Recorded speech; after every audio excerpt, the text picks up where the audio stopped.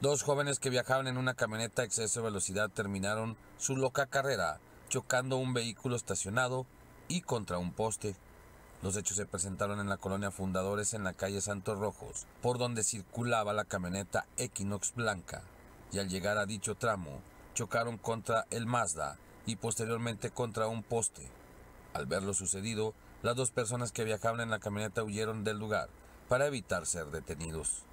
Elementos de tránsito tomaron conocimiento de los hechos, quienes ordenaron el traslado de la camioneta al corralón y el caso al Ministerio Público, mismo que se encargará de localizar al responsable de este percance.